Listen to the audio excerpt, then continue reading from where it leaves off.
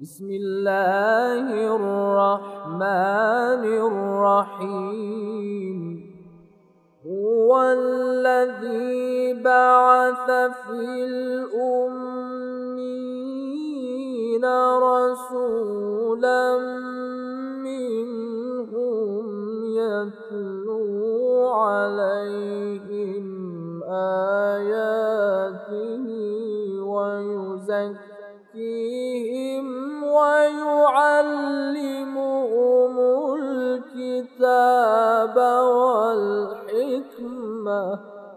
ويعلمهم الكتاب والحكمة وإن كانوا من قبل لفي ضلال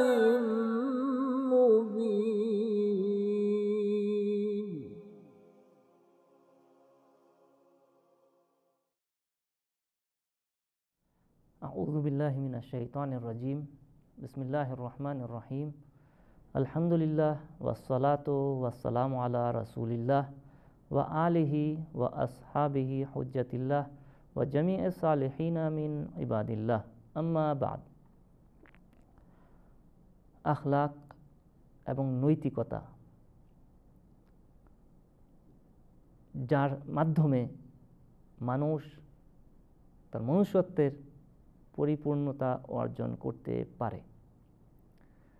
এর মধ্যে বিভিন্ন রকম দৃষ্টিভঙ্গি ছিল। সেই দৃষ্টিভঙ্গির মধ্যে একটি দৃষ্টিভঙ্গি হচ্ছে গিয়ে যে মানুষ যদি তার পরিপূর্ণতায় পৌঁছতে চায়, সমাজে যদি সফলতা অর্জন করতে চায়, তাহলে তাকে শক্তি, সামর্থ্য অর্জন করতে হবে। এটি একটি দৃষ্টিভঙ্গি। এবং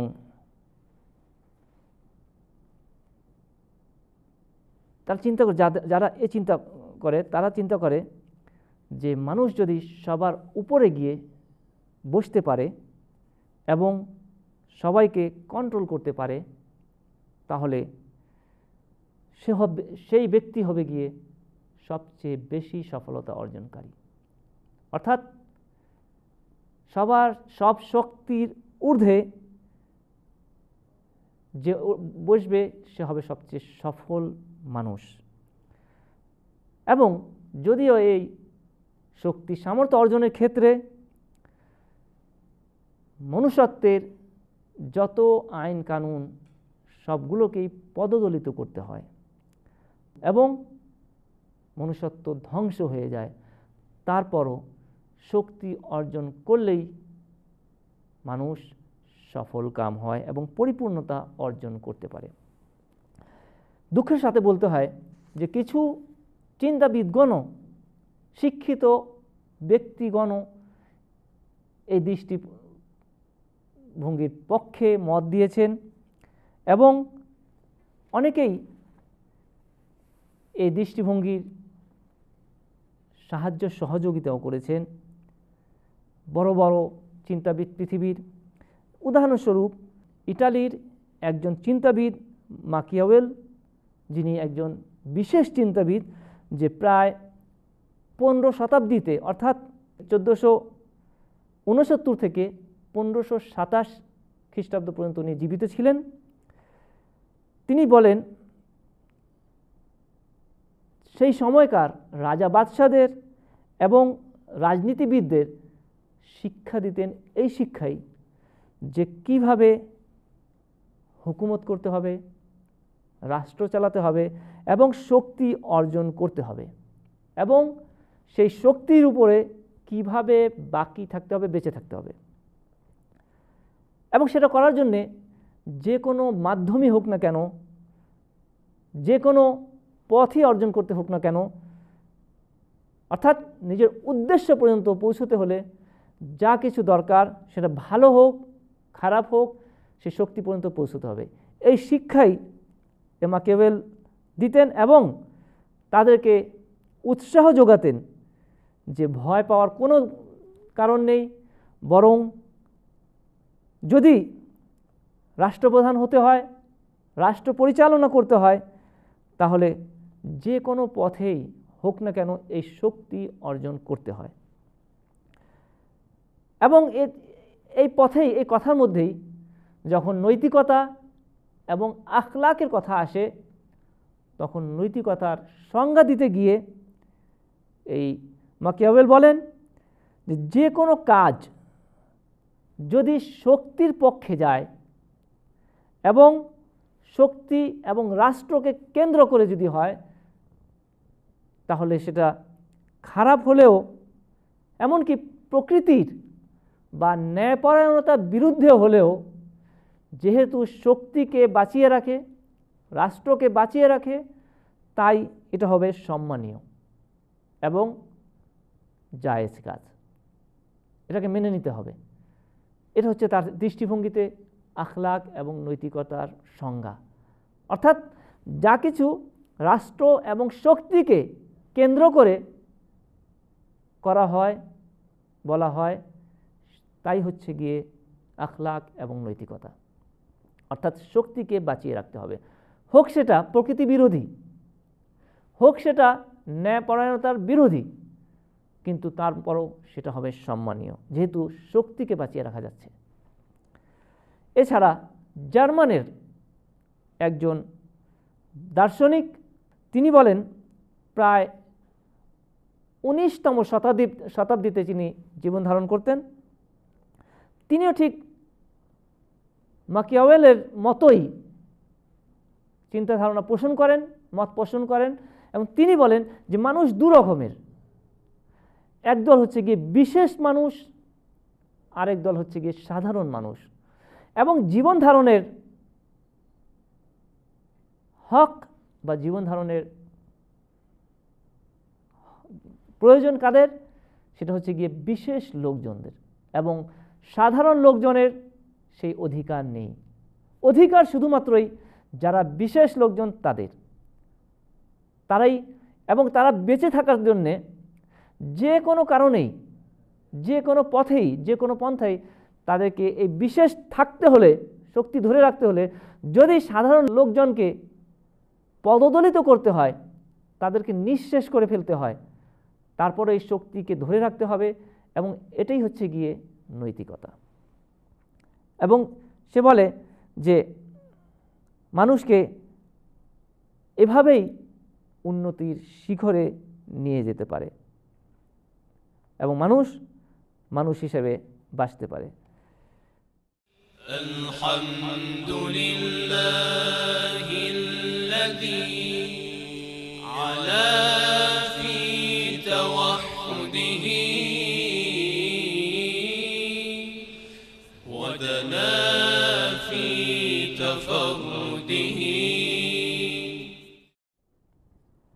মানুষের এবং নৈতিকতার সমস্ত আইনকে ভঙ্গ করে সে মনে করত যে মানুষ তখনই জীবিত যখন সে শক্তির উপরে রয়েছে। এবং তার জন্যে, সে শক্তির জন্যে সে চেষ্টা করে এবং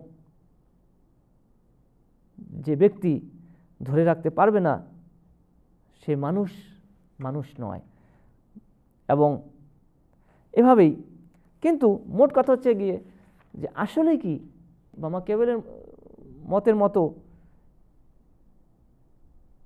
শক্তি কি মানুষের পরিপূর্ণতা নিয়ে আসে?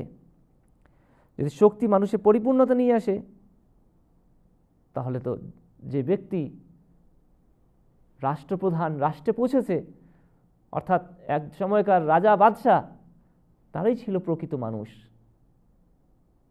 তারাই ছিল পরিপূর্ণতা মানুষ, তারাই সফল কাম। আসলে কি তাই? ইসলাম ধর্ম কি বলে?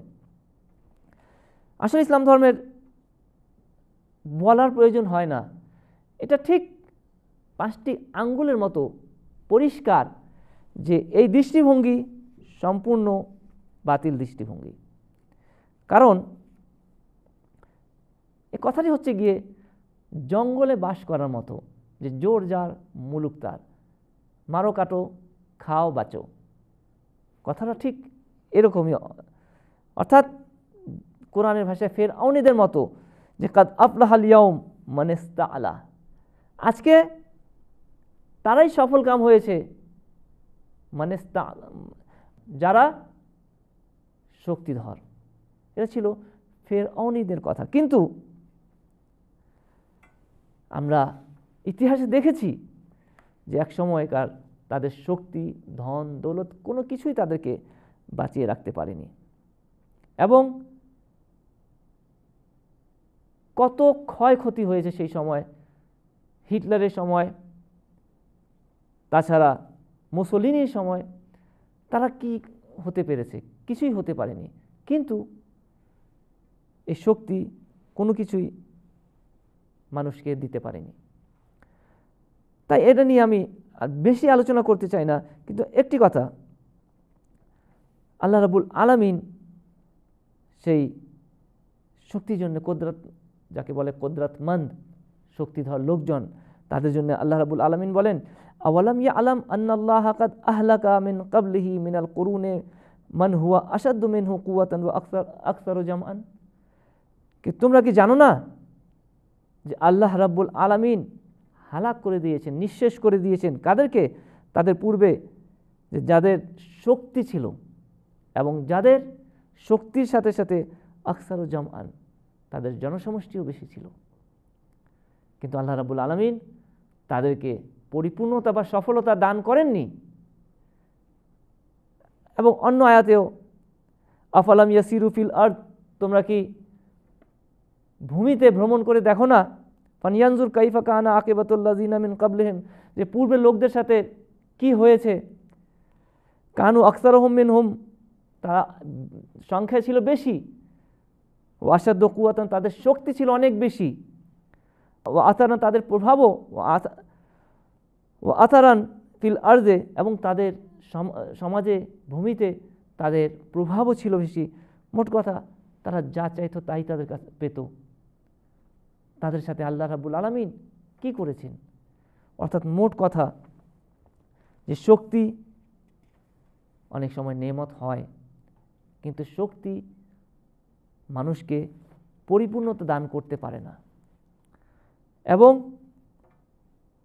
অন্যান্য সৌন্দর্য, পদমর্যাদা, বংশ এবং আত্মীয় স্বজনের মতো এই শক্তিও মানুষকে কখনো ধ্বংসের দিকে নিয়ে যেতে পারে। কিন্তু এই শক্তি কখনো নিজস্ব স্থানে থেকে, কখনোই সত্তাগত দিক থেকে কখনোই পরিপূর্ণতা বয়ে আনতে পারে না। বরং মানুষ তার সফলতায় পৌঁছানোর জন্যে, মানুষ তার পরিপূর্ণতায় পৌঁছানোর জন্যে এই শক্তি মাধ্যম হতে পারে। যখন এই শক্তি মাধ্যম হবে এবং আল্লাহর সান্নিধ্য অর্জনের সাথে আল্লাহকে হাজির ও নাজির রেখে যখন এই শক্তিকে ব্যবহার করবে, তখন হয়তো এই শক্তি মাধ্যম হবে মানুষের পরিপূর্ণতার জন্যে। এই শক্তি মাধ্যম হবে মানুষের সফলতার জন্যে। কিন্তু যদি এই শক্তিকে যত নিচে এবং মাকিয়াবেলের মতো কথাবার্তা যদি এই শক্তিতে পৌঁছানোর জন্য যদি সাধারণ মানুষকে পদদলিত করতে হয়, তাদের নিঃশেষ হয়ে যেতে হয়। শক্তিকে ধরে রাখতে হবে। এমন অবস্থায় আল্লাহ রাবুল আলমিনের কথায় তোমরা কি দেখো না তাদের সাথে কি করা হয়েছে? অর্থাৎ যারা এ চিন্তা ভাবনা রাখে, যারা এ মত পোষণ করে, তারা কখনোই শক্তি নিয়ে পরিপূর্ণতা অর্জন করতে পারেনি। তারা কখনোই সফল কাম হতে পারেনি এবং সফল কাম হতে পারবেও না। এবং তারা ঠিক ঠিক হিটলার এবং মুসলিনীর মতোই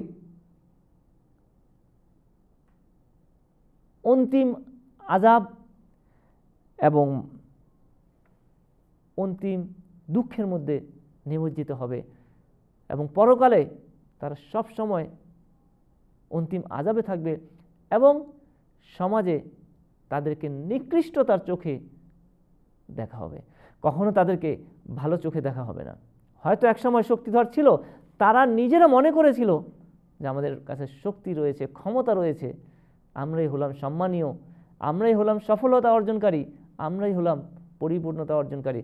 কিন্তু এই শক্তি তাদেরকে কখনোই পরিপূর্ণতা দান করতে পারে না এবং করতে পারেনি, ইতিহাস আমরা দেখেছি।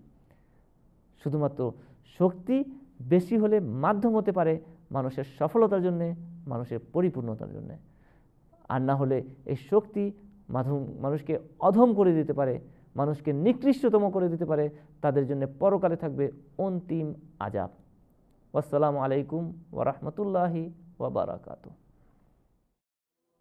أسألك يا رب قلبا سليما ولسانا صادقا وأستغفرك لما تعلم وأسألك خير ما تعلم وأعوذ بك من شر ما تعلم فإنك تعلم ولا نعلم وأنت علام الغيوب برحمتك يا أرحم الراحمين.